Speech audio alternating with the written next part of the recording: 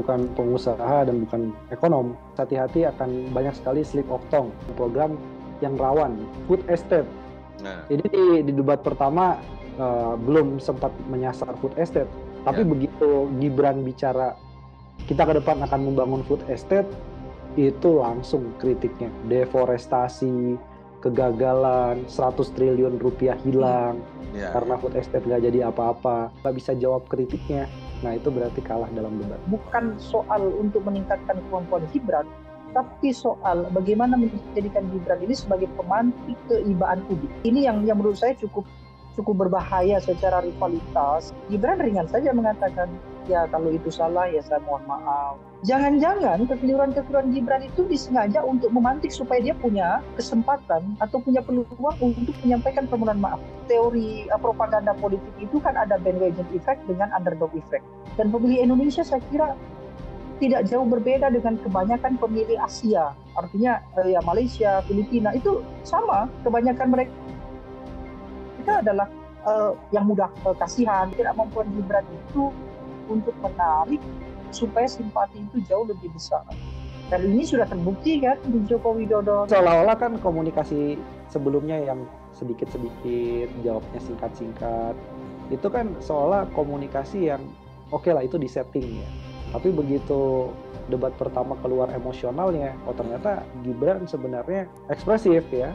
Hmm. Kalau cuma bilang saya melanjutkan bapak saya, maka ya nggak ada ke, uh, kebaruan yang kemudian dinikmati oleh para calon pemilih.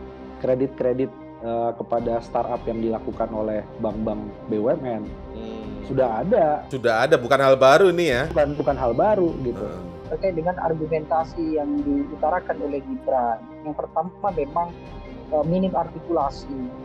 Yang kedua, saya kira berkaitan dengan eh, kapasitas Gibran dalam menyampaikan gagasan juga minim. Minimnya ini juga sangat eh, vulgar. Gibran mungkin hanya menghafal apa yang dia berikan. Lalu hafalan itu ya terus dia bawa ke mana-mana. Disandingkan dengan kandidat yang lain, tentu memang secara eh, kualitas saya kira masih cukup eh, jauh di bawah. Kalau kita berkaca di pemilihan uh, Gubernur DKI Jakarta, lalu kemudian uh, Pilpres 2014 dan 2019, Joko Widodo juga juga melakukan hal yang sama. Yang gimmick tanpa persiapan data, ya. itu nanti akan dilibas oleh calon yang menguasai permasalahan sekaligus memegang data. Saya khawatir debat kedua ini juga akan ada pertarungan antara fiksi dengan fakta. Saya duga sih akan ada ejek-ejekan. Nah, jangan sampai hanya jadi debat kusir, debat yang sifatnya hanya sekedar gimmick, apalagi mengeluarkan kartu-kartu gitu ya. Masyarakat kita yang percaya gimmick Eh, kelompok yang menyukai gimmick-gimmick jelas kelompok eh, secara ekonomi, sosial, politik dia adalah kelas menengah ke bawah. Kalau ini didetailkan dalam survei yang dilakukan oleh IPO, besar kemungkinan dari sisi gender adalah perempuan, dari sisi pendidikan adalah uh, paling tinggi adalah SMP, mereka cenderung akan menjauhi aktivitas-aktivitas gini. Kelompok Gen Z sedikit cuek, artinya mereka tidak peduli dengan keibaan. Itu justru bisa membuat kelompok milenial ilfil. Amin sudah banyak bicara dan visi misinya cukup detail soal masalah ekonomi digital. Jadi punya amunisi yang lebih siap di debat kedua nanti. Keberhasilan, sebenarnya titik lemahnya banyak sekali. Gibran akan berbicara hal-hal yang remeh, dan itu kalau Muhaimin atau Mahfud MD tidak sabar, mereka justru bisa terpancing. Ada apa? Ada perubahan yang lumayan signifikan kayak gitu terkait dengan uh, apa tren popularitas masing-masing capres. Dua generasi ini belum menjamin kepastian mereka akan hadir di TPS atau tidak. Apakah kemudian nanti ada korelasinya antara keriuhan yang ada di media sosial dampak entah itu dari pasca debat maupun dari propaganda propaganda media sosial terhadap elektabilitas. Ya. Yang pertama besar kemungkinan iya. Respon negatif atau sentimen negatif yang disorotkan oleh warganet ini kan memang hadir juga pada uh, dinamika yang terjadi ketika debat. Nah, ya, punishment dari ini dari, dari trennya seperti warganet. itu.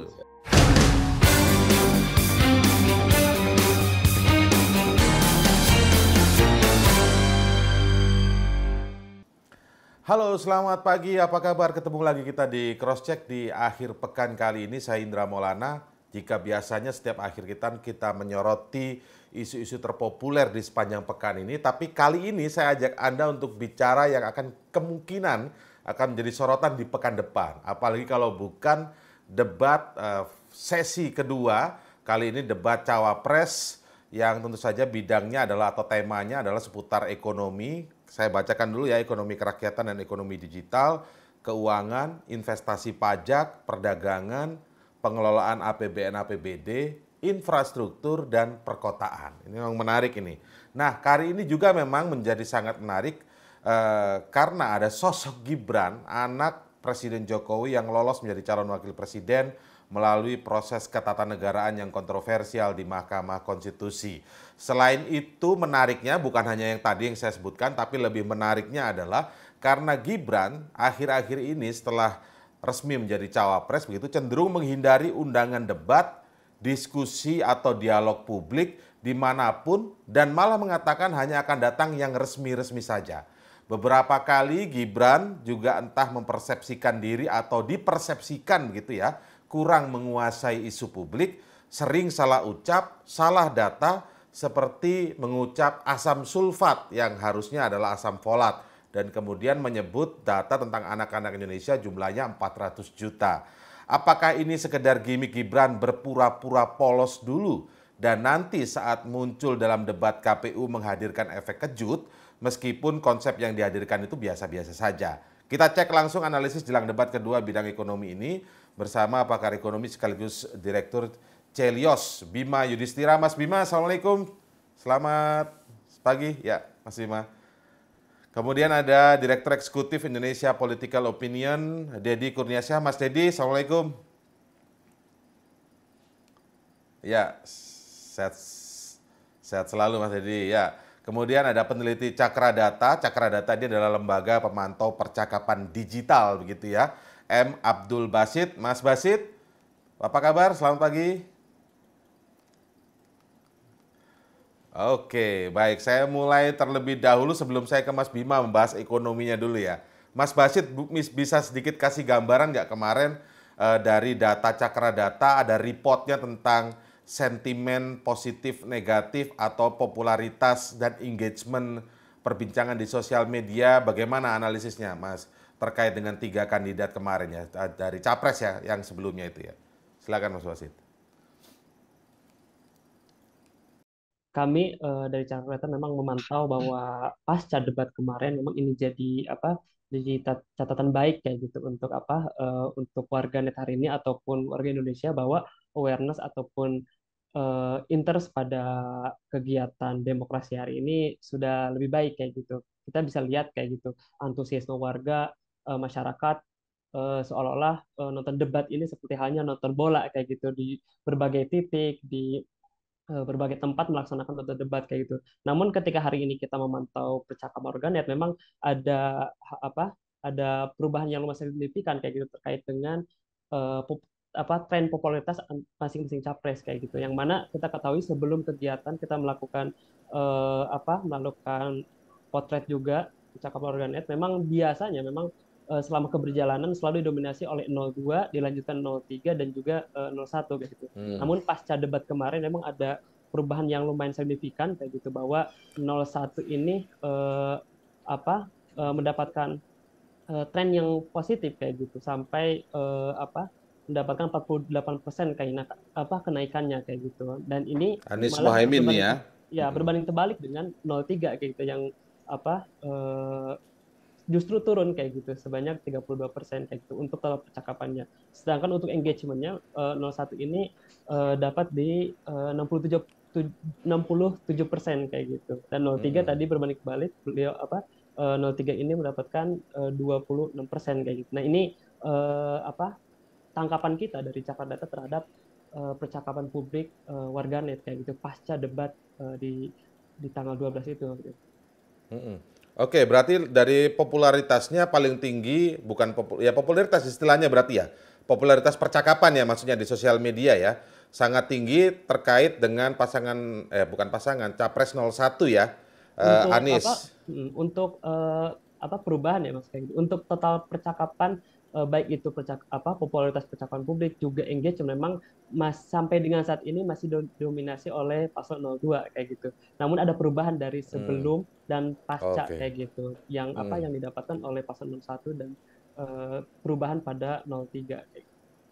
Secara popularitas perbincangan paling tinggi 02 yaitu Pak Prabowo, kemudian disusul Anies Baswedan pasangan 0, apa dari 01 Capres 01 dan kemudian yang turun justru Capres 03 Ganjar Pranowo kan gitu ya.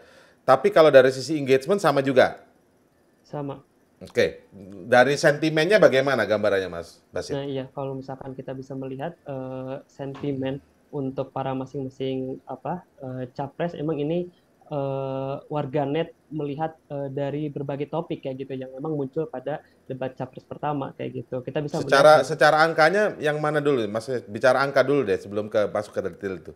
Secara angkanya sentimennya berapa persen untuk positifnya nomor 01, kemudian negatifnya berapa persen, dan ya silakan dipaparkan. Kalau untuk apa 01, 02, 03, 01 ini memang untuk sentimen positifnya mendapatkan 30 persen uh, dari apa dari sorotan warganet kayak gitu. Mm -hmm. Dan untuk 02 itu mendapatkan sorotan apa uh, sentimen positif sebanyak 33 persen dan Pak Ganjar itu Mas Ganjar apa uh, justru 03. mendapatkan sentimen positif sebanyak uh, 38 persen kayak gitu. Mm-hmm. Nah, sedangkan untuk apa untuk sentimen negatifnya warganet melihat bahwa uh, dari diskusi yang jalan kayak gitu, Pak Anies ini mendapatkan sorotan sentimen negatif sebanyak 7 persen kayak gitu, mm. dan Pak Prabowo ini yang memang uh, lebih besar yaitu sebanyak 26 persen dan Mas Ganjar ini mendapatkan sentimen negatif dari warganet sebanyak 6 persen kayak gitu. Oh, sentimen negatif uh, 03 Ganjar Pranowo berapa tadi? 6 persen, Mas. 6 persen, terus kemudian negatif yang untuk Pak Prabowo berapa persen? 26 persen. Oh, tinggi sekali ya, 26 persen ya. ya sentimen negatifnya. Kalau untuk Anies 7 persen ya? 7 persen. Oke, baik. Nah, saya sekarang ke debat kedua kan eh, seputar ekonomi, Mas Bima. Mas Bima kemarin sedikit evaluasi boleh ketika kalau menyaksikan ya, kalau menyaksikan debat pertama menyaksikan Mas Bima ya. Ya. Kira-kira itu sangat substantif atau bagaimana secara umum, Mas Bima? Sebenarnya ada beberapa substansi yang justru menarik karena debat pertama kemarin kan harusnya demokrasi HAM ya, pelayanan publik. Tapi ternyata isu ekonomi dan lingkungan itu cukup mendominasi juga, misalnya terkait dengan IKN. IKN ini ini salah satu topik yang paling panas juga terkait dengan arah pembangunan kan, kota-kota ke depannya seperti apa. Jadi IKN dibahas, kemudian kedua adalah soal masalah transportasi publik, masuk soal polusi, ada Mas Anies yang menyinggung soal PLTU batubara misalnya. Itu itu topik-topik yang sebenarnya agak agak out of the box ketika debat pertama bicara soal demokrasi HAM gitu ya. Harusnya dibicarakan pada saat topik-topik memang debat khusus ekonomi. Jadi seperti ingin starting bahwa masalah ekonomi adalah masalah yang penting juga sama pentingnya dengan penegakan demokrasi, kemudian juga masalah soal korupsi. Ini ada irisan memang antara masalah hukum dengan masalah ekonomi. Betul. Tapi intinya di debat pertama itu memang ingin ditunjukkan ya ketiga calon ini bahwa isu ekonomi, lapangan pekerjaan ini jadi isu yang sentral yang masyarakat ingin dengar gitu tanpa menunggu ada debat yang kedua. Kira-kira gitu. Jadi memang ya isu ekonomi ini adalah isu yang paling fundamental sebenarnya bagi masyarakat pemilih tentu saja begitu ya. Itu contohnya kemarin dilihatkan dari soal IKN begitu ya Mas Bima ya. Pertanyaan-pertanyaan tanya jawab, tanya jawab antara Ganjar Pranowo kalau tidak salah dengan Anies Baswedan ya. Mas Bima ya. Tapi eh, yang diharapkan dari eh, tentu saja debat kedua yang justru isinya memang ekonomi tadi digambarkan kan didetailkan kalau tidak salah ada ekonomi digital dan kemudian soal perpajakan, perdagangan, ekonomi digital ini pasti akan jadi banyak apa namanya uh, porsinya tidak kira-kira Mas Bima atau Mas Bima melihatnya harapan sebagai uh, ekonom Mas Bima melihat yang paling substantif sekarang yang harus dipaparkan oleh para kandidat itu yang isu yang seperti apa tentang terkait ekonominya? Iya, jadi kalau melihat dari tantangan ekonomi yang hari ini, voters ataupun pemilih ini punya concern besar, itu adalah soal masalah ketersediaan dan stabilitas harga kebutuhan pokok. Kemudian juga masalah lapangan kerja. Ya, dan juga masalah soal pemberantasan korupsi itu sebenarnya juga masalah yang mengganggu ekonomi. Dan masalah soal industrialisasi. Nah, digital ini, ini yang kita pengen dengar sebenarnya dari para wapres itu, itu ada nggak kaitannya digital ini mampu menstabilkan harga-harga kebutuhan pokok? Mampu nggak digital ini menciptakan lapangan kerja yang berkualitas? Ya. Nah, jadi kita pengen mendengar nih, gimana tiga-tiganya ada yang membela diri, ada yang kemudian mulai melakukan kritik, itu melihat fenomena lapangan kerja itu banyak sekarang Hmm. di sektor digital, tapi kualitasnya jelek sekali kan, gitu ya. Hmm. Ada driver ojol yang nggak pasti, dia juga bukan pekerja, dia hanya kemitraan. Ya. Jadi semakin besar kue digital kita, arahnya makin tidak berkualitas dari sisi Hmm. lapangan pekerjaannya. Makin banyak sektor informalnya, 60% penduduk kita bekerja di sektor informal dan itu masalah. Hmm. Jadi digitalisasi memperbesar informalitas ekonomi. Hmm. Digitalisasi korupsinya masih banyak. Itu juga sebenarnya juga harus dibedah itu. Hmm. Artinya digitalisasi di level pemerintahan belum secara efektif juga menurunkan tingkat korupsi kan gitu Ya. dan efisiensi dari belanja pemerintah. Nah, jadi ini ini yang ingin di- didengar gitu dan saya juga melihat eh, mungkin dari sisi Amin sudah banyak bicara dan visi misinya cukup detail soal masalah ekonomi digital. Jadi punya amunisi yang lebih siap di debat kedua nanti. Kemudian dari dari Ganjar, nah ini eh, Pak Mahfud ini kan lebih banyak bicara Hukum. Tebak nanti soal penegakan hukum dan pemberantasan korupsi Ya. mungkin akan dikaitkan dengan efisiensi ekonominya di situ. Ya. Yang kita belum dengar secara lebih detail itu adalah kubunya dari Prabowo Gibran. Hmm. Ya karena tadi karena keseringan nggak mau tampil di acara-acara di luar dari debat eh, KPU kan begitu ya, diundang nggak mau datang sehingga yang Gibran ini masih samar-samar. Yang terdengar hanya makan siang gratis Susu. Dan susu, pembagian susu itu. Nah, tapi kan masalah ekonomi digitalnya beberapa kali misalkan ada yang tanya ya di satu forum, saya eh, lulusan S2 kemudian masih belum mendapat ke- pekerjaan gitu ya. Hmm. Itu gimana solusinya dijawab oleh Gibran sebagai pengusaha, menjadi pengusaha aja. Ya, ya, Tapi ya. pengusaha yang digitalnya seperti apa, kemudian mau bikin startup, dukungan dari pemerintah ke depannya seperti apa. Hmm. Nah ini yang masih belum jelas. Jadi nggak pernah lengkap itu Gibran menjelaskan ekonomi digital nih. Hmm. Padahal kan dia kalau latar belakangnya katanya pengusaha ya, punya Pengusaha startup muda, juga, pengusaha muda betul. maksudnya. Ya harusnya dia bisa menguasai ya, menguasai panggung untuk menceritakan pengalaman-pengalamannya dia. Sengaja disimpan nggak itu kira-kira Mas Bima? Atau atau kalau ngelihatnya gimana? Saya lihat agak kontradiksi karena di debat yang pertama dia emosional sekali kan gitu ya. Jadi seolah-olah kan komunikasi sebelumnya yang sedikit-sedikit, jawabnya singkat-singkat, itu kan seolah komunikasi yang oke lah itu disetting ya. Tapi begitu debat pertama keluar emosionalnya, oh ternyata Gibran sebenarnya Ekspresif. ekspresif ya. Jadi kita akan menantikan juga nanti keluar nggak jurus-jurusnya atau tetap dipasangkan seperti bapaknya sama untuk jawab singkat-singkat, menerangkan yang singkat-singkat gitu. Tapi Iya, sayang sekali kalau ada debat gitu ya, Gibran diberikan panggung, Hmm. tapi dia tidak mampu menyampaikan secara komprehensif, Hmm. secara detail terkait dengan kebijakan-kebijakan ekonomi, karena pastinya akan banyak sekali angka-angka yang terdengar, akan banyak sekali konsep-konsep yang bisa ditawarkan gitu ya, dibandingkan hanya bilang bahwa ya sudah yang dilakukan Pak Jokowi sudah bagus, kita akan melanjutkan. Nah itu jangan sampai terjadi.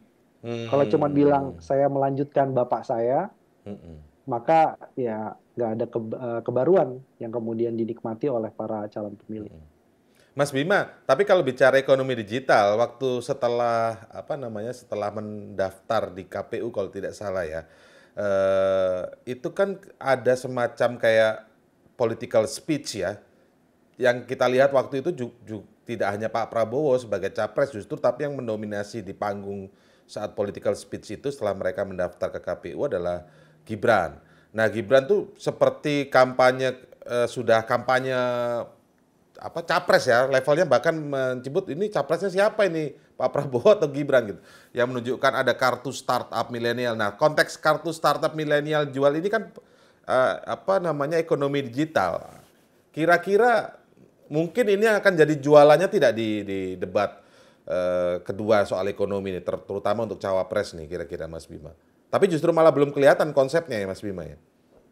Iya, kalau dia hanya mengulang dari visi misi yang tipis itu gitu ya, dokumennya kemudian divisualisasikan dalam bentuk mengeluarkan kartu-kartu ya. Tentunya orang sudah tahu gitu kan.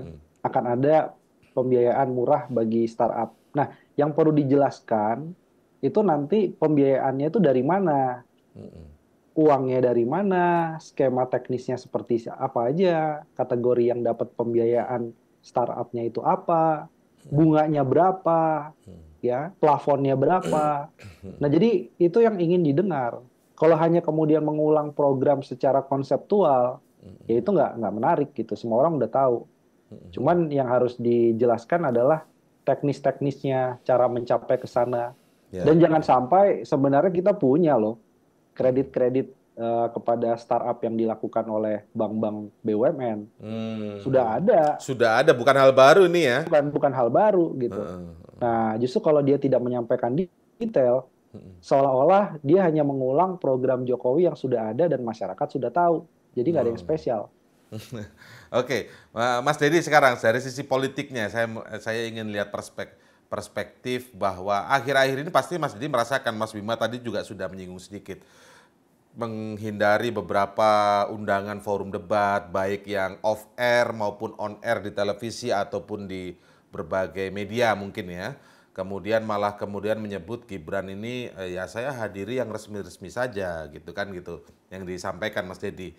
Nah, kira-kira apakah secara politik ini adalah sebuah strategi seorang Gibran seperti mau eh, menurunkan standarnya dan orang berharap karena politik itu kan persepsi.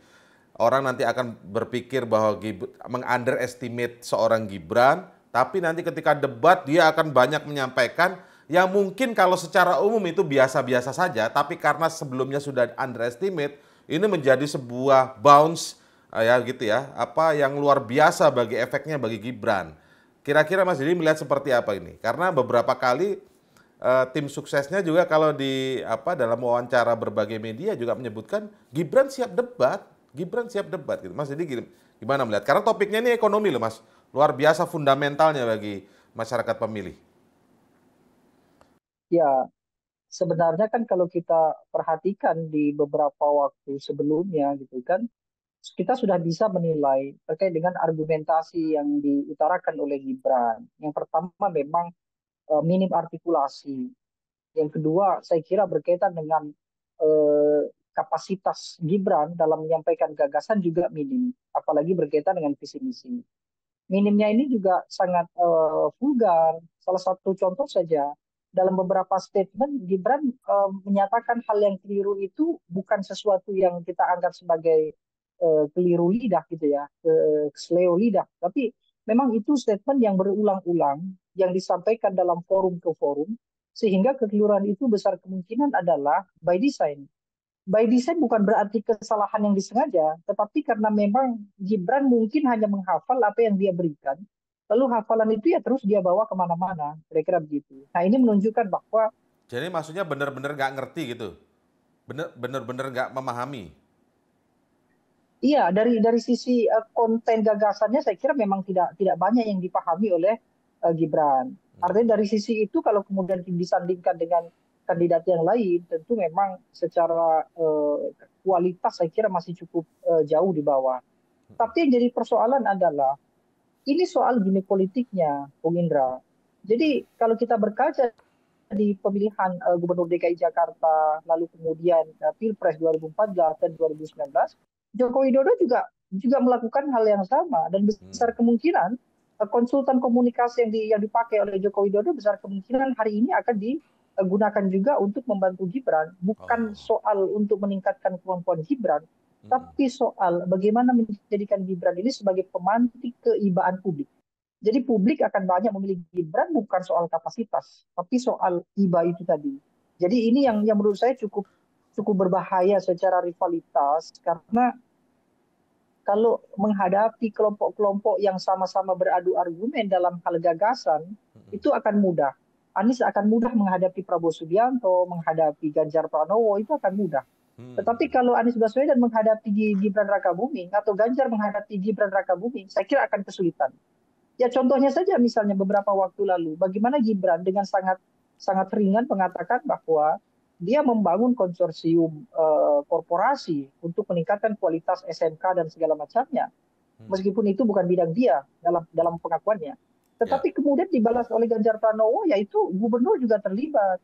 Tetapi apa dampaknya di publik? dampaknya di publik justru bukan orang membela Ganjar Pranowo, orang lebih membela Gibran Raka Buming karena intonasi yang yang merendah gitu ya, dengan juga intonasi yang yang seolah-olah memang tidak tahu apa-apa. Nah itulah yang dilakukan oleh itu karakter playing victim dong berarti ya, karakter playing victim gitu, Iba, mengharapkan keibaan orang. Nah itu itu ada potensinya. Contohnya saja begini, dalam beberapa argumentasi Gibran yang keliru ketika kemudian muncul entah itu dari kalangan jurnalis atau dari kalangan uh, siapa yang mengingatkan begitu ya yang terbaru saja misalnya tadi juga sudah disinggung bagaimana secara emosional secara ekspresif begitu ya Gibran uh, sedikit uh, meluapkan kekesalannya karena uh, kubu dari uh, rival gitu ya bersorak-sorai di di debat lalu Gibran sampai harus uh, berdiri dan oh, iya. seolah meledek begitu ya, seolah mem mem memprovokasi. Nah, yang jadi persoalan ketika muncul kemudian bahwa uh, Bawaslu atau KPU melakukan teguran, Gibran ringan saja mengatakan, ya kalau itu salah ya saya mohon maaf, ya semua uh, evaluasi akan kami terima. Jangan-jangan kekeliruan-kekeliruan Gibran itu disengaja untuk memantik supaya dia punya kesempatan atau punya peluang untuk menyampaikan permohonan maaf. Hmm. Jadi yang dijual bukan persoalan gagasannya, yang dijual adalah permohonan maafannya. Hmm. Jadi kan publik publik Indonesia ini utamanya ya, ketika melihat bahwa orang di apa namanya ya dalam bahasa Jawa itu dikuyo-kuyo di bahasa Ibu e, Megawati ini ya, atau di direndah-rendahkan begitulah ya. Lalu dia dengan ya membangun raut muka yang polos, meminta maaf, orang akan menganggap bahwa oh, ini anak memang tulus kira-kira gitu. Nah ini masalah sebetulnya dalam kontestasi kita. Emang pemilih-pemilih kita, Mas De, Mas Dedi, pemilih kita memang karakter yang eh, lebih banyak didominasi oleh karakter, karakter yang seperti itu. Maksudnya kalau ada orang yang sudah minta maaf itu maka akan mencuri perhatian dirinya. Dominan mungkin tidak ya untuk 2024. Kenapa? Karena kelompok yang yang mudah iba segala macam ini kan adalah baby boomers, Gen X gitu ya Sementara gabungan baby boomers dengan Gen X dalam uh, survei yang dilakukan IPO itu hanya hanya 48 persen. Ya, pemilih 52 persen. Ya, 48 persen. 52 persennya adalah uh, Gen Z dan juga milenial. Kelompok Gen Z sedikit cuek, artinya mereka tidak peduli dengan keibaan. Bahkan hmm. uh, dengan sikap Gibran ini saya kira justru ini uh, kontraproduktif sebetulnya. Kenapa? Karena kan sepanjang awal bagaimana Gibran dideklarasikan kan mereka menargetkan kelompok milenial. Tapi kalau kelompok milenial dihadapkan pada hal-hal yang sifatnya itu tidak karismatik begitu ya, ya, ya. tidak terlihat cool dalam dalam kontestasi, itu justru bisa membuat eh, kelompok milenial ilfil. Artinya mereka justru malah kehilangan rasa rasa penasaran, kehilangan rasa fansnya itu, kira-kira begitu. Jadi satu sisi eh, Gibran saya kira akan sulit mendapatkan pemilih kelompok muda dan itu memang sudah terbukti di catatan IPO Gibran hanya mendapatkan 1,8 persen dari dari total populasi kelompok mudanya. Justru Prabowo Prabowo Subianto mendapatkan porsi yang lebih tinggi. Mungkin per, perannya masing-masing kali ya. Mungkin mungkin perannya masing-masing ya secara strategi. Jadi Pak Prabowo menyasar segmen mudanya dengan apa lucu, gemoy ya gitu-gitu mungkin ya. Terus kalau Gibrannya menyasar pemilih yang mau. Jadi dia mengcreate sesuatu agar dia bisa mengeluarkan kata maaf dan lain sebagainya gitu ya. Mas Didi, menurut Mas Didi gitu ya? Ya itu yang nah, betul. Itu yang yang justru diwaspadai oleh Muhaimin dan juga uh, Mahfud MD. Kenapa? Karena saya kira akan sangat sia-sia ketika Mahfud MD bicara undang-undang, bicara tentang hal-hal ideal ya. tentang hukum, Substansi misalnya. Ya. Muhaimin, iya, Muhaimin bicara tentang masa depan ekonomi Indonesia. Hmm. Nanti Gibran akan berbicara hal-hal yang remeh dan itu kalau Muhaimin atau Mahfud MD tidak sabar, mereka justru bisa terpancing uh, kekesalan dengan sikap uh, yang yang remeh-temeh begitu.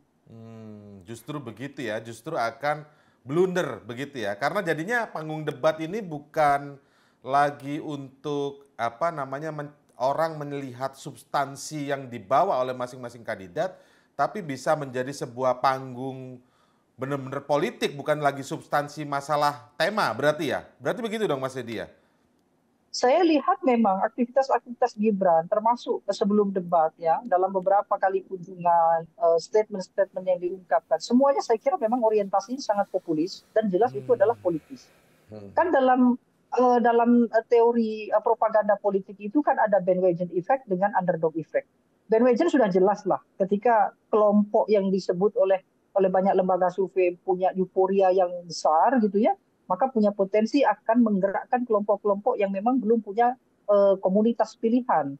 Ketika Anies ramai, maka Anies punya potensi akan menggiring kelompok-kelompok yang belum menentukan pilihan untuk bergabung dengan Anies. Tapi yang underdog ini yang menurut saya cukup diwaspadai adalah mereka yang disia-siakan secara uh, elektoral gitu ya. Mereka yang direndah-rendahkan dalam kapasitas itu besar kemungkinan justru akan mendapatkan kelompok yang yang mudah iba tadi itu. Dan pemilih Indonesia saya kira tidak jauh berbeda dengan kebanyakan pemilih Asia. Artinya eh, ya Malaysia, Filipina itu sama. Kebanyakan mereka ya. adalah uh, yang mudah uh, kasihan begitu ya. Utamanya adalah kelompok-kelompok yang baby boomers dan uh, Gen X tadi itu. Jadi Gibran jelas sekali sejak awal sangat strategis. Bukan bukan persoalan dia betul-betul tidak mampu meskipun benar ya, tidak hmm. mampunya itu benar. Ya, Tapi ya. mereka menggunakan ketidakmampuan Gibran itu untuk menarik supaya simpati itu jauh lebih besar.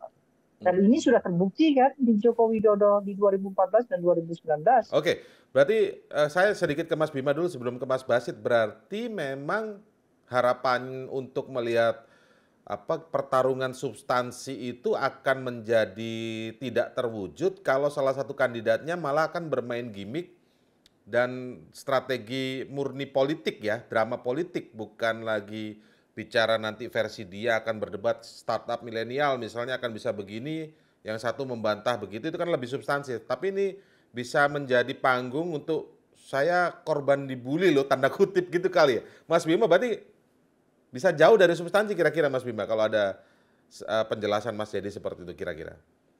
Ya, jadi dikhawatirkan memang akan jauh dari substansi yang berat-berat gitu kan. Ekonomi ini kan berat nih. Berat banget. Jadi ekonomi ini yang dikeluhkan masyarakat, tapi penjelasannya kadang-kadang bersifat elitis dan ya. sangat-sangat uh, teknis misalnya gitu ya. Bahas pertumbuhan ekonomi, bahas masalah pengangguran, bahas masalah infrastruktur.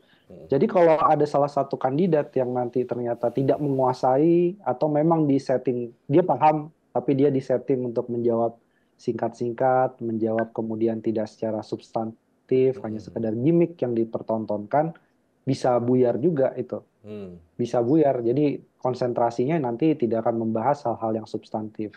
Hmm. Hanya misalnya saya saya duga sih akan ada ejek-ejekan misalnya yang satu panjangnya jalan tol gitu ya hmm. akan dipamerkan ya. Hmm. Uh, jadi keberhasilan-keberhasilan dari Jokowi yang akan dipamerkan uh, dan mengulang yeah. aja apa yang disampaikan oleh Pak Jokowi disampaikan lagi gitu ya oleh Prabowo Gibran, yeah. oleh Gibran gitu ya dengan hmm hal yang sama template-nya udah ada gitu. Jadi jadi nggak menarik gitu. Dan nanti ketika kemudian dikritik mungkin nanti jawaban-jawabannya adalah oh berarti tidak mensyukuri pembangunan infrastruktur yang dilakukan era Jokowi gitu ya. Uh, yeah, Pak yeah. Jokowi telah berhasil. Tapi kan kita pengennya uh, selain evaluasi ke belakang juga pengennya kan ada proyeksi ke depan gagasan-gagasan yang baru gitu ya bagaimana Indonesia masuk ke dalam OECD misalnya, bagaimana Indonesia bisa sedikit lebih hati-hati dengan pinjaman dari China, bagaimana misalnya soal bonus demografi dikelola gitu. Ya. Jadi hal-hal yang sifatnya memang uh, substantif. Nah, jangan sampai hanya jadi debat kusir, debat yang sifatnya hanya sekedar gimmick, apalagi mengeluarkan kartu-kartu gitu ya. Nah. Karena konsultannya sama, kemudian yang dikeluarkan jurusnya sama juga. Kayak kayaknya kan bawa kartu juga nggak kira-kira ya tebakan Mas Bima ini? Kira-kira bawa nggak kartu itu?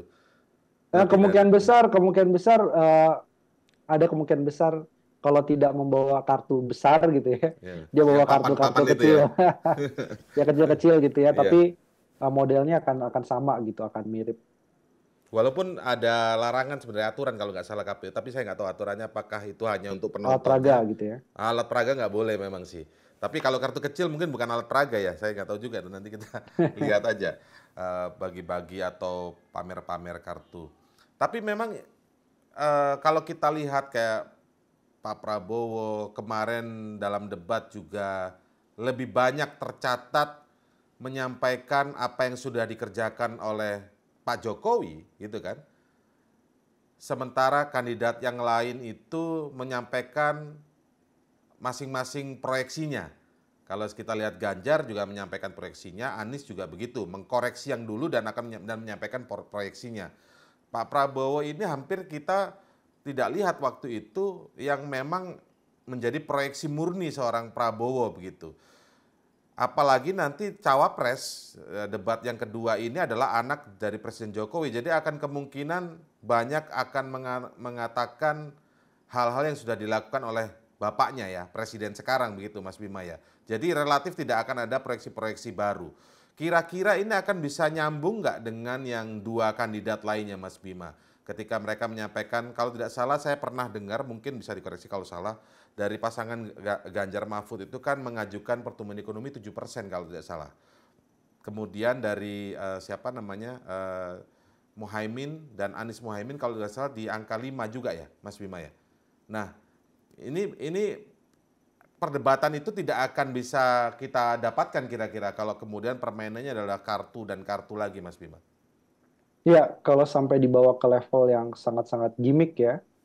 Dan bahayanya begini, pada waktu debat yang pertama, misalnya isu soal masalah polusi udara, itu kelihatan sekali tuh, yang gimmick tanpa persiapan data, ya. itu nanti akan dilibas oleh calon yang menguasai permasalahan sekaligus memegang data.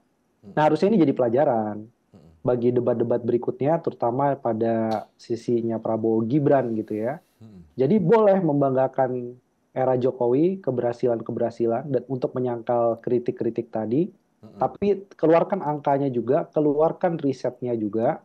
Jangan hanya dijawabnya kemudian, oh ini serangan personal kepada Jokowi. Ini serangan personal kepada Prabowo Gibran yeah, yeah. ya. Hmm. tanpa membatas uh, membantah secara teknis argumentatif dan ada data-data pendukungnya. Ya nanti balik lagi yang saya saya khawatir debat kedua ini juga akan ada pertarungan antara fiksi dengan fakta hmm. ya antara antara fiksi kemudian dengan data-data yang sifatnya hard science hmm. nah atau memang itu strateginya karena apa karena Contohnya pada waktu debat pertama soal masalah polusi udara dan angin gitu ya. Yeah, yeah. Itu uh, yang satu bilang asalnya dari PLTU karena memang ada angin yang terbawa ke Jakarta. Kemudian yang satunya lagi seolah dia menyangkal. Jadi menggunakan gimmick. Pasca debat itu masih ada aja yang membela bahwa kok menyalahkan angin gitu. Ya memang datanya bicara gitu. Yeah, Jadi iya. kelihatannya segmentasi yang ingin disasar dengan gimmick itu besar yeah. dan uh, kelihatannya nggak semua pemilih itu siap di, dengan bahasa-bahasa sains yeah. uh, riset yang kemudian berat gitu. Nah itu itu repotnya. Jadi masih banyak masyarakat kita yang percaya gimmick. Jadi nggak nggak nggak substantif, tapi sengaja tidak melakukan memang perdebatan yang substantif karena tahu segmennya di sana. Ya, itu benar. Itu memang muncul di berbagai sosial media memang itu soal soal apa namanya polusi itu Padahal kalau dilihat secara utuh ya, itu ada jawaban yang sangat komprehensif sebenarnya dari Anies Baswedan waktu itu ada penjelasan komprehensif bagaimana dan apa yang bisa dilakukan karena angin itu eh, tidak tidak mengenal tempat KTP bahasanya kan gitu ya. Tapi memang ditangkapnya oleh seorang Prabowo dengan serangan baliknya itu memang lucu tuh kok nyalain angin. Jadi yang populernya itu kok nyalain anginnya itu ya. Padahal ada jawaban yang sangat lengkap di situ.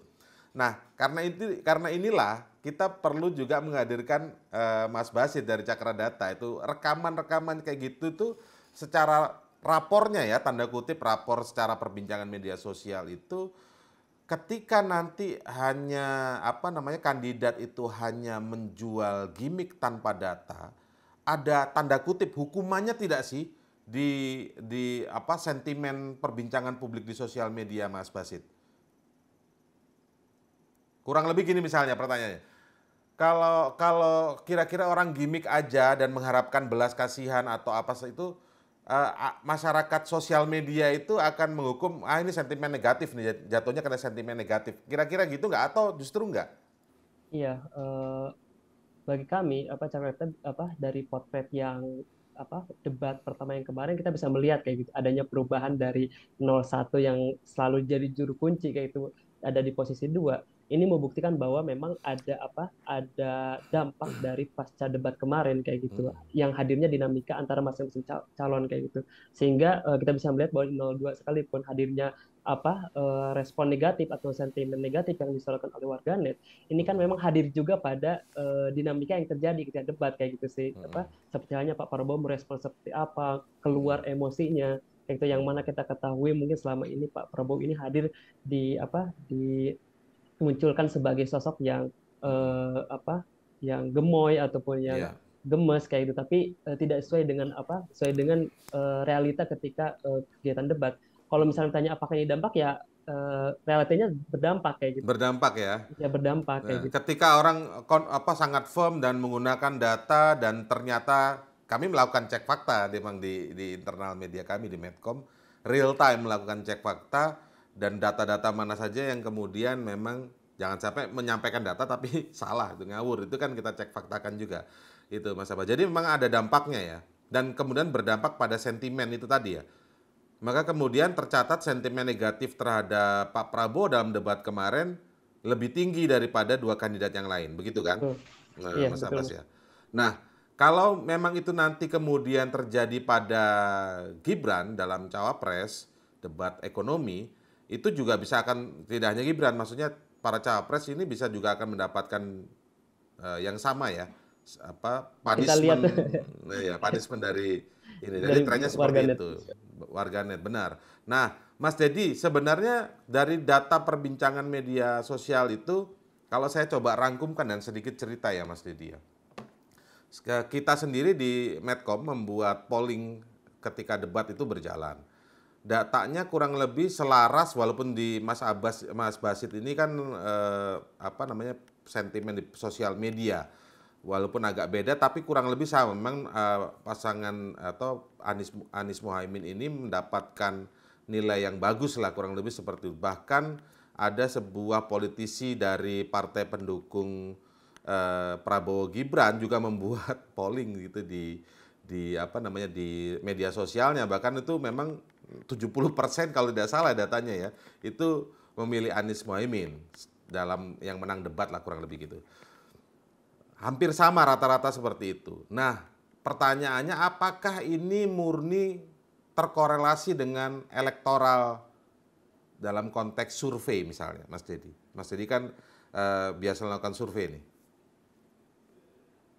Iya, kalau dalam catatan survei kami itu kan elektabilitas itu bersumber dari empat kelompok yang kami yang kami pantau. Kelompok pertama adalah pemilih baby boomers tadi, lalu Gen X, kemudian Gen Z, lalu baru kemudian milenial.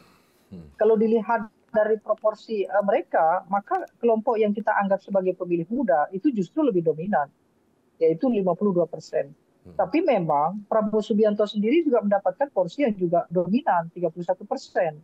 Anies Baswedan sendiri hanya di, di bawah uh, dua di, masih di bawah uh, Ganjar Pranowo hanya di angka di atas 20-an uh, persen. Yeah. Meskipun secara total Anies Baswedan juga mendapatkan porsi cukup besar juga dari kelompok-kelompok baby boomers dan juga Gen X. Hingga kemudian kami tampilkan dalam rilis di November kemarin itu Anies berada di posisi kedua. Uh, setara lah dengan apa yang disampaikan juga oleh Kompas, di mana Anies sudah melampaui Ganjar Pranowo. Nah, sekarang ada di di kelompok pemilih mana itu mereka yang yang riuh di media sosial itu ya yang bisa yang selalu memenangi uh, kontestasi misalnya tadi di Medcom bahkan ada kader hmm. PSI kalau tidak keliru ya yang juga yeah. melakukan survei termasuk program-program acara uh, media juga banyak misal ILC juga mengadakan yeah. polling yang serupa Anies memang banyak mendominasi pilihan-pilihan polling di media sosial. Yeah. Cuma yang perlu diperhatikan ini, Bang Indra, yeah media sosial ini didominasi oleh dua generasi tadi, Gen X, uh, sorry Gen Z dengan milenial. Ya termasuk saya mungkin ya. Hmm. Nah yang jadi persoalan adalah dua generasi ini belum menjamin kepastian mereka akan hadir di TPS atau tidak, karena tingkat hmm. keraguan mereka untuk memilih juga juga tinggi. Nah ini yang jadi masalah.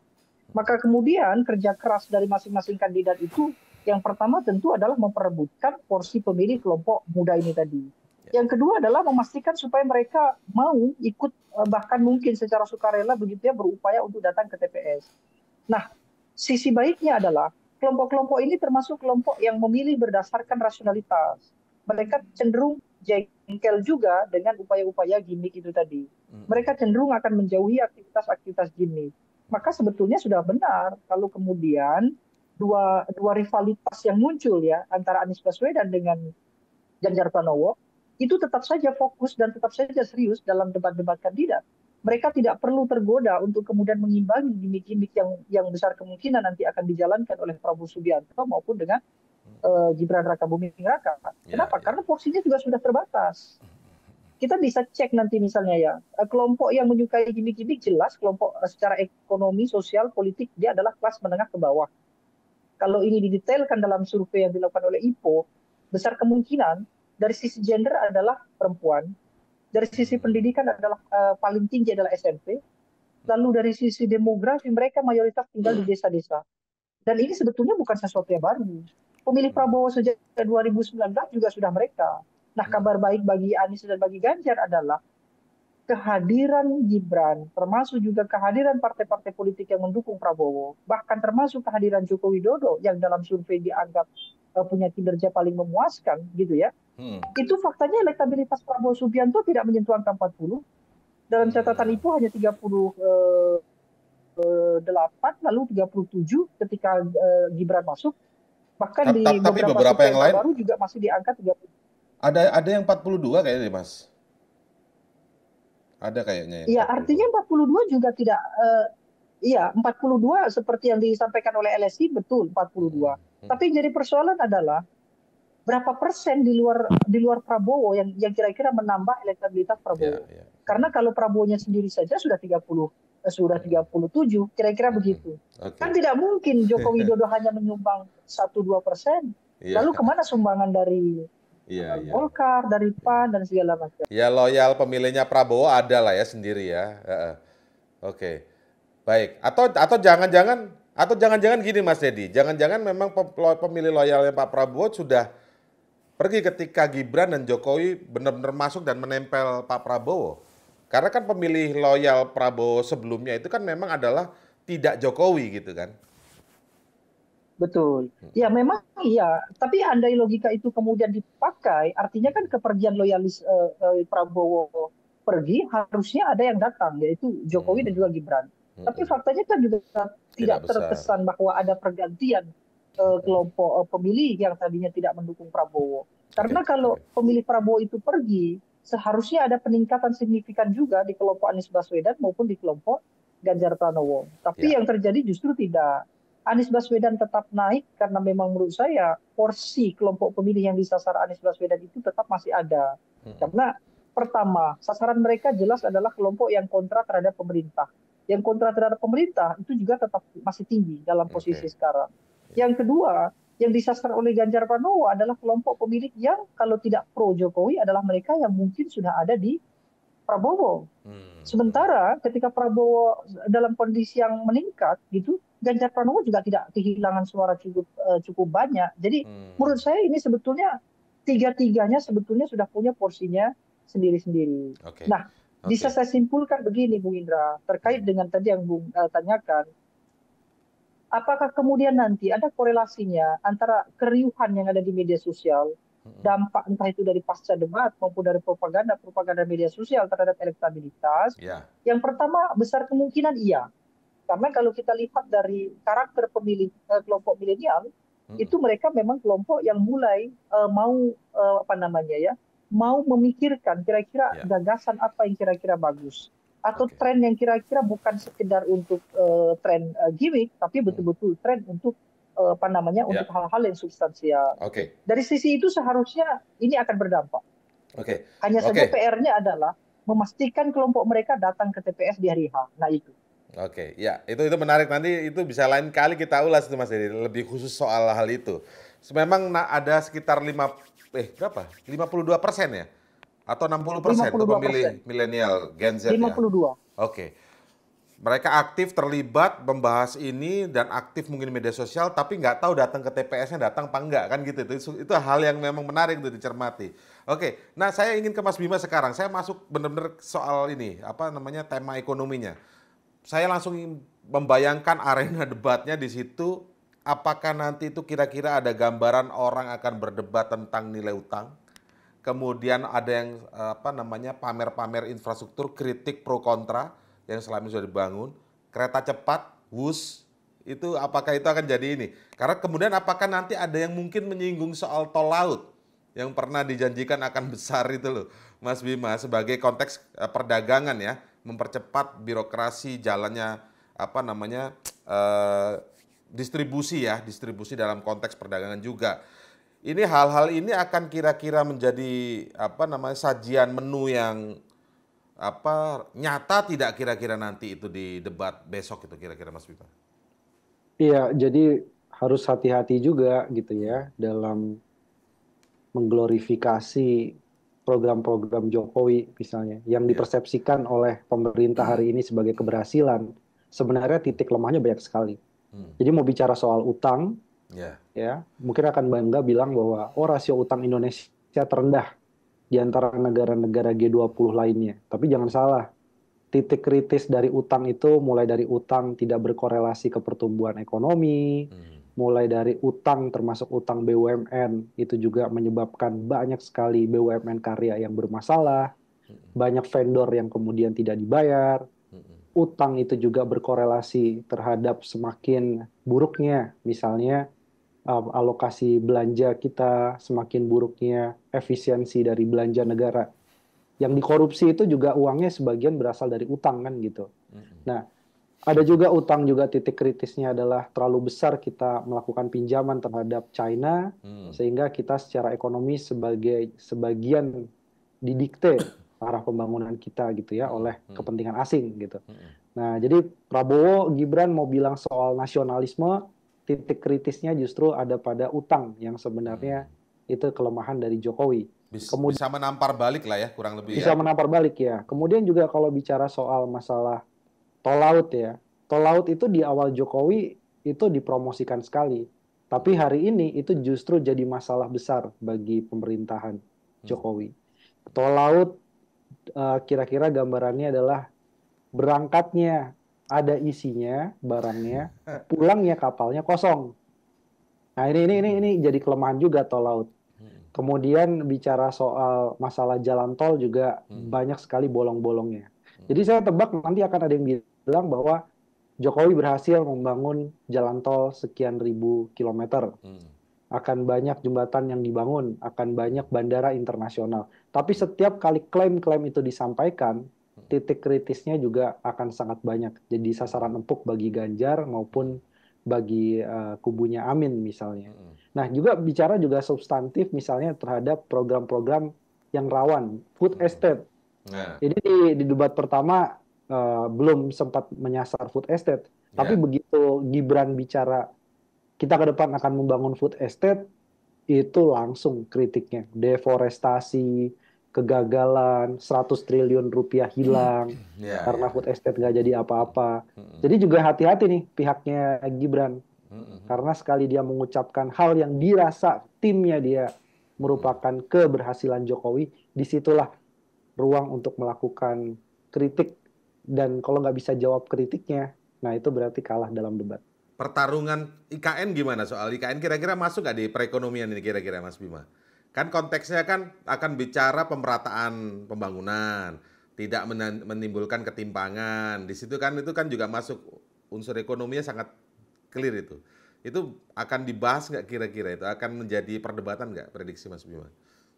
Kelihatannya kalaupun iya uh, isunya sudah dibahas di debat pertama. Hmm. Jadi mungkin hanya pengulangan tapi sudah tahu kan jawabannya. Kalau yang satu bilang apa, yang satu lagi kubu lainnya yang kritis. Kalau dari sisi investor, kan itu perdebatan terakhir-terakhir ini kan Presiden Jokowi sering disebutkan, wah ini bohong nih soal investor, katanya sudah ada, ternyata mengaku nggak ada gitu. Bahkan sering digabung-gabungkan tuh berita kapan, Desember gitu ya, terus berita yang baru-baru ini gitu. Iya. Desember tahun lalu maksudnya disebutkan gitu kan. Itu itu itu akan menjadi mengemuka nggak kira-kira Mas Bima? Atau perlu dibawa oleh salah satu kandidat agar bisa menarik ini? Iya, jadi di debat pertama titiknya kan ada soal ketimpangan, ada soal masalah meninggalkan masalah lama di Jakarta, cari masalah baru. Itu kan kira-kira IKN kesimpulannya di debat pertama. Mungkin debat kedua tidak mengulang itu lagi, tapi langsung bicara soal investasi, ya. kenapa nggak masuk ke IKN. Nah itu juga asik juga tuh kalau misalnya masuk dalam perdebatan wapres uh, ke depan, karena masalah soal investasi artinya IKN kurang menarik. Kenapa? Proyeksi penduduknya mungkin akan dibahas. Ini adalah kota ASN, lebih banyak kawasan industri yang menarik uh, untuk investasi, ada hilirisasi jauh lebih menarik daripada IKN. IKN untuk oligarki misalnya, hmm. untuk kepentingan pemilik modal yang dekat kekuasaan. Jadi mungkin hal-hal itu yang akan uh, menonjol hmm. pada saat debat kedua kalau menyinggung soal IKN. Hmm. hmm. Oke, okay. Baik, Mas Abbas, mungkin sebagai penutup di diskusi kita kali ini, eh, apakah mungkin akan ada data yang muncul eh, menjelang debat kedua kan tanggal 22 Desember hari Jumat kalau tidak salah itu mungkin di hari apa gitu sudah mulai muncul perbincangan warganet sebaiknya yang dibahas ini ini ini ini dan ini gitu misalnya gitu. Mungkin nggak kira-kira Mas? Ya, uh, ada nggak untuk itu? apa? Uh, untuk apa bahasan yang akan dibahas apa uh, perbincangan nanti ya. Ya, ya memang kan itu luas itu ekonomi itu kan luas, perdagangan juga luas. Maksudnya spesifik tertentu seperti tadi saya bahas dengan Mas Bima gitu. IKN kah, kereta cepat kah dan lain sebagainya. Ya ini memang apa kita memang butuh waktu apa uh, waktu untuk memantau lebih dalam lagi ya hmm. terkait dengan percakapan warganet terhadap uh, isu yang akan diangkat, yeah. khususnya ekonomi pada debat capres yang kedua. Tapi uh, di sisi lain kita bisa melihat bahwa memang antusiasme uh, apa debat ini kalau kita prediksikan ini akan terus tinggi kayak gitu bahkan sampai dengan debat kelima nanti kayak gitu. Memang Betul. harapannya bahwa uh, kesempatan yang apa kesempatan yang ini bisa dimaksimalkan oleh para apa para calon kayak gitu baik itu capres cawapres untuk bisa lebih konkret lagi menyampaikan uh, gagasannya juga terkait dengan data-data. Karena kalau misalnya kita lihat bahwa dari pasca debat kemarin kita udah lihat bahwa warna dari masing-masing calon udah jelas kayak gitu. Walaupun secara positioning mereka ini apa uh, pendatang semua kayak gitu. Cuman kita sudah bisa melihat bahwa 02 ini kan memang dengan apa sudah berstatement bahwa dia akan apa menjadi apa menjadi hmm. pelanjut lah dari apa dari hmm. pemerintah saat ini ataupun lanjut dari program-program kayak yeah, gitu. Nah ini jadi hal yang menarik kayak gitu dan okay. mungkin kita akan nanti apa kita, akan kita pantau terus uh, perbincangan warganet khususnya dalam apa dalam isu yang akan dibahas di, hmm. di debat itu. Itu aja mungkin Oke, okay. okay. Mas Dedi penutup juga sebelum Kuas Bima. dalam sebuah arena debat atau kontestasi harusnya 2024 ini kan bebas nilai. Maksudnya kandidat baru kan pasti kan. Memang kandidat-kandidat baru, uh, bukan nggak ada yang incumbent, maksudnya nggak ada yang incumbent. Tetapi dengan hadirnya Gibran dan kemudian Prabowo yang berulang kali mengatakan meneruskan Jokowi dan narasi meneruskannya itu bukan hanya sekedar sebagai calon baru yang nanti program sebagiannya akan kita teruskan, tapi benar-benar memang meneruskan total aja gitu loh. Orang narasinya itu copy paste gitu akhirnya uh, menjadi beban tersendiri dong dalam sebuah debat orang yang berposisi sebagai apa namanya yang bukan penantang ya artinya harus defense gitu Mas Edi memang ini menjadi berat sorotan akan selalu ke pasangan 02 Prabowo dan Gibran kira-kira Mas Edi ya itu saya salah satu uh, dilemanya begitu ya. Tetapi saya kira pilihan Prabowo Gibran untuk mereplikasi apa yang sudah dilakukan oleh Jokowi ini secara politik juga tepat. Kenapa? Karena mereka menjadi satu-satunya kandidat yang memang berupaya untuk mendominasi suara-suara dan loyalis dari Presiden Joko Widodo. Meskipun juga ada gangguan sebenarnya dari eh, Ganjar Pranowo Prabowo gitu ya karena Ganjar juga berusaha untuk meyakinkan publik bahwa dia juga meneruskan legasi Joko Widodo misalnya dengan kasus-kasus atau tematik-tematik berkaitan dengan IKN misalnya ya. dan bahkan Anies Baswedan pun sebetulnya juga uh, berupaya untuk melanjutkan misalnya dengan uh, bansos bahkan dia tambahi dengan bansos plus misalnya hmm. itu menjadi bagian bahwa memang cukup menarik mereplikasi kegiatan presiden yang yang petahana gitu ya, karena programnya masih dirasakan oleh publik. Meskipun sekarang yang paling dominan tentu adalah Prabowo Subianto. Nah, yang jadi masalah adalah ini menjadi pekerjaan berat memang bagi Anies dan Ganjar. Kenapa? Karena dari data survei saja sudah terlihat bahwa uh, lebih banyak uh, pro Joko Widodo itu mengarah ke Ganjar ke Prabowo Subianto. Ganjar saja kesulitan untuk mendapatkan loyalis-loyalis dari Joko Widodo itu. Tapi sisi lain, justru ini menjadi satu celah tersendiri juga bagi Anies Baswedan. Karena Anies seolah-olah bekerja dan berupaya untuk melakukan propaganda politik hanya ada di ruangannya sendiri. Dia tidak mengganggu urusan Ganjar dengan Prabowo yang berebut Jokowi. Dia juga tidak mengganggu kelompok-kelompok yang pro terhadap pemerintah. Anies Baswedan cukup fokus pada kelompok yang kontra terhadap pemerintah pada mereka yang mungkin masih anti terhadap Prabowo dan begitu uh, yang tidak yakin terhadap Ganjar uh, Pranowo. Jadi tetap uh, kurang lebihnya selalu ada dan mereka masing-masing saya kira memiliki itu. Begitu kira-kira. Oke, baik Mas Bima sebagai penutup kira-kira Mas Bima eh, ketika kita melihat apa forum debat ini dengan melihat karakter Muhaimin Iskandar, karakter siapa namanya Gibran Raka Buming Raka dan kemudian karakter Profesor Mahfud MD yang kita kenal sebagai orang hukum tentu saja ya. Kira-kira apa sekali lagi data-data tentang proyeksi ekonomi yang akan dimajukan masing-masing ini tentu tetap belum bisa akan secara substansif tergali kah atau seperti apa Mas Bima? Ya, tiga-tiganya bukan pengusaha dan bukan ekonom. Hmm itu yang jadi tantangannya ya meskipun yeah. Pak Muhaimin pernah jadi Menteri Tenaga Kerja misalnya hmm, gitu ya. Hmm.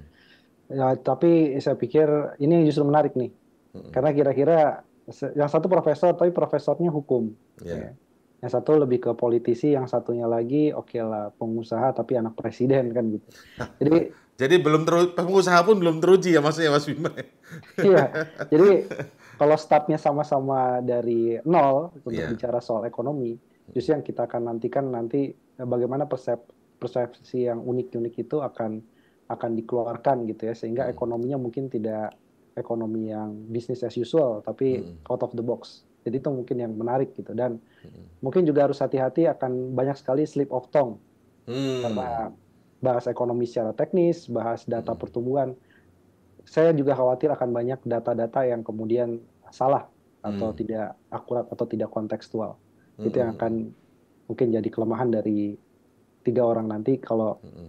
uh, pada debat yang kedua. Oke, kita nantikan saja nanti debat di tanggal 22 Desember hari Jumat depan ya. Kita berharap sama bisa mengawal. Semoga yang keluar memang isinya adalah substansial semua. Nah, kita akhiri perbincangan kita hari ini. Terima kasih Mas Bima. Uh, terima kasih juga Mas Basit dan sebelumnya ya, ada Mas Deddy Kurniasih atas waktunya. Salam sehat. Assalamualaikum warahmatullahi wabarakatuh. Terima kasih. Ya, terima kasih. Terima kasih Mas Indra.